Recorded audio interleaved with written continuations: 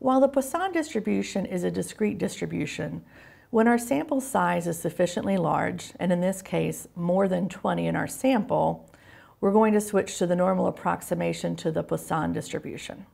So let's take a look at how we're going to calculate our Poisson distribution. In this example, we have on average 28 patients that arrive per hour in a walk-in clinic on Friday between 6 p.m. and midnight. So in this case, since our sample size is 28, it's greater than 20, therefore we're going to use a normal approximation to the Poisson distribution. We can calculate the approximate normal probability of more than 35 arrivals. So in this example, our notation will have our sigma for our standard deviation, our lambda is equal to our average or mu, which is the average number of occurrences per unit. And then our x value will be what we're solving for. So our average value is 28 because we know on average 28 patients arrive. So our mu equals to our lambda.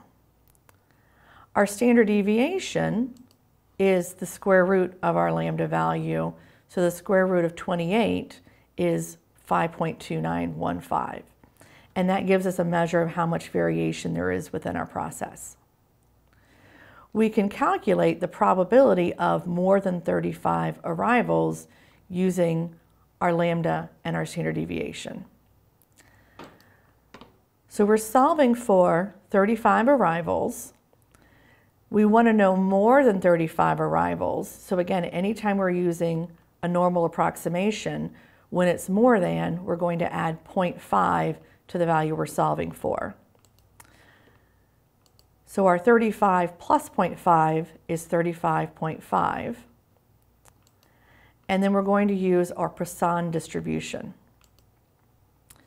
Since we're looking for more than, we're looking for the right-hand side of the distribution, so we're going to do 1 minus the value that we're solving for.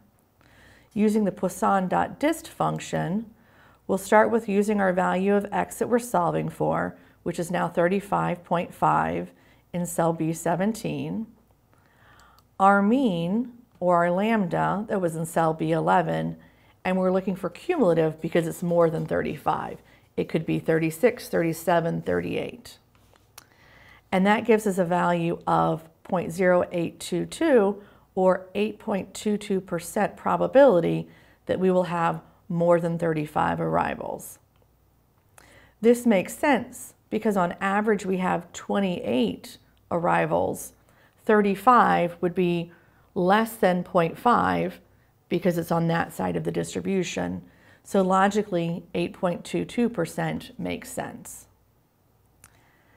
Let's look at the probability that we would have less than 20 arrivals. So again, knowing that we have on average 28, and now we're looking at less than, we would expect this to be less than 50%. Our x value will be 20 because that's what we're solving for. Since we're doing less than here, we're going to subtract 0.5 because we want 19 or less, and we don't include 20 in our calculation. Our probability then, since we're looking at the left-hand side of the distribution, we're not subtracting from 1 this time, and our calculation is our Poisson.dist with our value we're solving for, 19.5 from cell B23, our mean or our lambda from cell B11, Again, and again, it's cumulative because we're looking for anything less than that. And when we solve for that, we get a value of 0.0478 or 4.78%. And again, comparing that to our average, that makes sense because we would expect a smaller number of less than 20 arrivals. We can use this information then to plan for the probability of how many patients will be coming. In this example, it's healthcare, so we want to balance our risk with our scheduling to make sure that we have enough people working during that time. However, in any industry that's making a business decision, if we're looking at staffing, we can use this probability and balance it against the risks that we're willing to take and how long it's going to impact our customers if they're waiting to be um, checked out or for service or to speak to someone. So, again, very useful information from a business standpoint that we can use for our managerial decisions.